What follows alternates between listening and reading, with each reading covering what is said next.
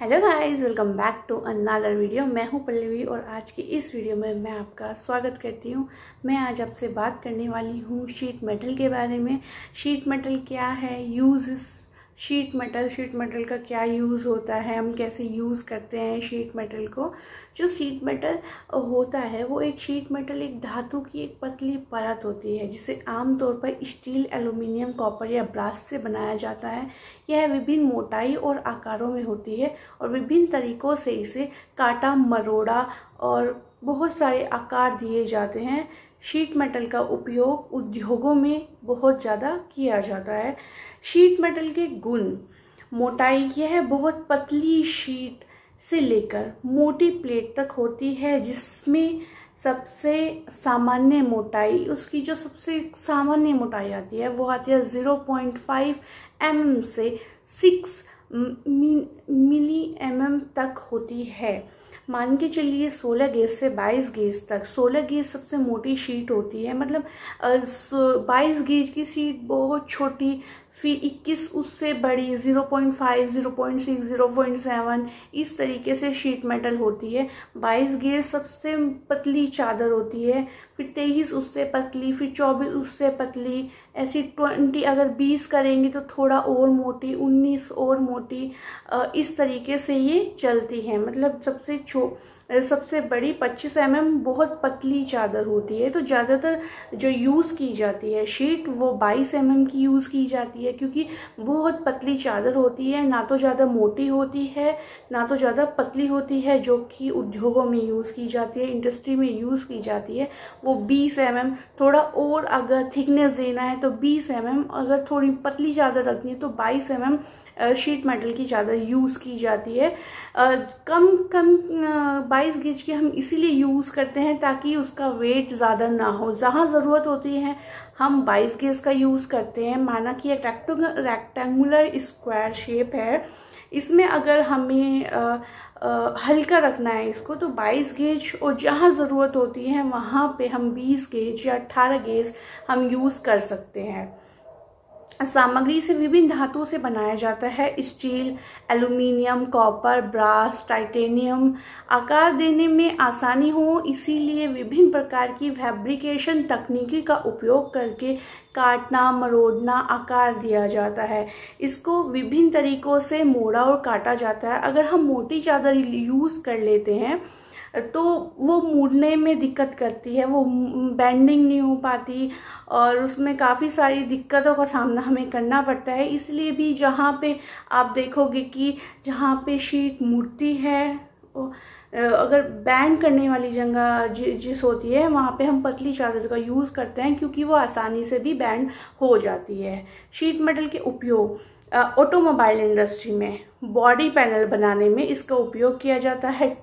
कारों में, ट्रकों में, अन्य वाहनों में, बाइक्स में, काफ़ी सारे वाहनों में शीट मेटल का उपयोग किया जाता है। चेचिस बनाने में, गाड़ी के जो पार्ट्स हैं, उसका जो चेचिस होता है, वो पूरा शीट मेटल में भी इसका यूज़ किया जाता है। उसका फ्रेम करने में शीट मेटल को। वहाँ पे 18 गेज सोलह गेज सत्रह गेज हैवी करने के लिए वहाँ पे वो यूज़ किया जाता है क्योंकि वो बैंडिंग नहीं करना पड़ता है, वो सीधा सीधा चेजिस पे बिछाया जाता है, इसलिए मोटी चादर वहाँ पे यूज़ कर सकते हैं।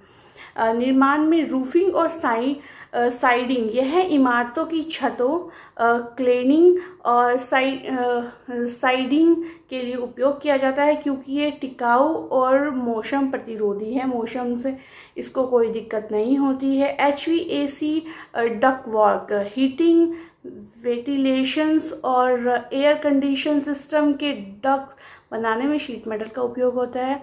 एयर स्पेस, विमानों के पुर्जे बनाने में इसका यूज़ होता है। विमानों के पुर्जे मतलब हल्के और मज़बूत शीट मेटल जैसे एल्यूमिनियम का उपयोग विमान के शरीर, पंखों और अन्य पुर्जों में किया जाता है। इसलिए किया जाता है क्योंकि ये हल्का भी हो जाता है और विमान में वेट इतना ज़्यादा नहीं होता। वेट कम रखा जाता है, इसके लिए हल्की चादर यूज़ कर सकते हैं। इलेक्ट्रॉनिक्स और घरेलू उपकरणों में इसका यूज़ होता है। शीट मेटल का उपयोग इलेक्ट्रॉनिक्स कंप्यूटर कंप्यूटर में के सीपीयू की बॉडी आपने जो देखी होगी, वो शीट मेटल की बनी हुई होती है और घरेलू उपकरणों के सुरक्षा आवरण बनाने में किया जाता है। चीज़ में किया जाता है। यह विभिन्न उपकरणों और मशीनों का आधार संरचना बनाता है। अब देखते हैं निर्माण। मशीनों के पुर्जे। शीट मेटल का उपयोग औद्योगिक मशीनों के पुर्जे और कॉपरनेटिव बनाने में किया जाता है। टूलिंग। इसका उपयोग स्टेपिंग और अन्य मैन्युफैक्चरिंग प्रक्रिया के मोल्ड और डाइयाँ बनाने के लिए किया जाता है। शीट मेटल की जो शीट है, उसकी जो डाइयाँ हैं वो शीट मेटल से तैयार की जा सकती है।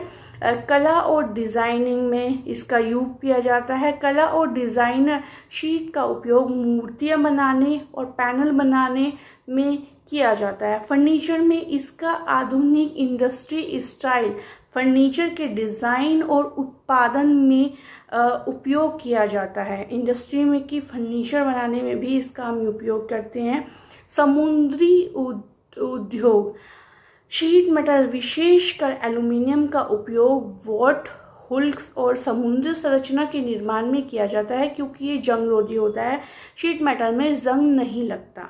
आ, अगर उस और उस पर पेंट कर देते हैं तो उससे और मज़बूत और टिकाऊ हो जाता है। फैब्रिकेशन प्रक्रिया काटना। शीट मेटल को इच्छित आकार में काटने के लिए शेयर लेजर या वाटर लेटर्स का उपयोग किया जाता है। शीट मेटल की जो शीट होती हैं, उसके ऊपर हम लेज़र का प्रयोग करके आ शीट काटते हैं अलग अलग आकार देखते हैं। इंडस्ट्री में लेज़र आजकल काफ़ी मशीनें यूज़ होती हैं। किसी की भी बॉडी बनाने के लिए मानिए अगर कोई तिरछी मिर्ची बॉडी हमें काटनी है और एडजस्ट करना है तो उसको लेज़र के द्वारा हम काट लेते हैं उसी शेप में। उसके बाद बैंडिंग कर लेते हैं तो उस वो चीज़ शीट मेटल से आसानी से कर सकते हैं, मोड़ना। उसको मोड़ भी सकते हैं, स्टैपिंग भी कर सकते हैं और उसके बाद वेल्डिंग भी कर सकते हैं। मानो अगर गाड़ी की हम बॉडी बना रहे हैं तो उसी शेप में हम काट सकते हैं, उसके बाद मोड़, बेंडिंग मोड़ कर सकते हैं, उसको मोड़ सकते हैं, उसके बाद स्टैपिंग कर सकते हैं और उसके बाद उसकी वेल्डिंग भी कर सकते हैं।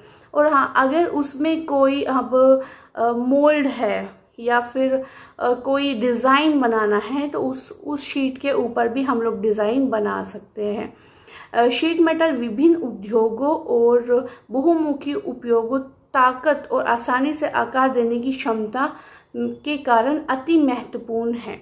शीट मेटल का उपयोग काफ़ी सारी इंडस्ट्री में किया जाता है। मतलब हर जगह इंडस्ट्री हो गया, घर हो गया, या फिर इलेक्ट्रॉनिक सामान हो गए मोबाइल्स हो गए, या चेचीज गाड़ियों की चेचीज तो शीट मेटल की शीट का यूज़ काफ़ी जगह किया जाता है। इसीलिए ये इतनी महत्वपूर्ण है इंडस्ट्री लाइन में।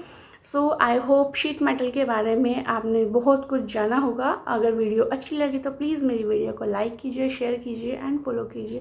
Thank you for watching more video guys bye take care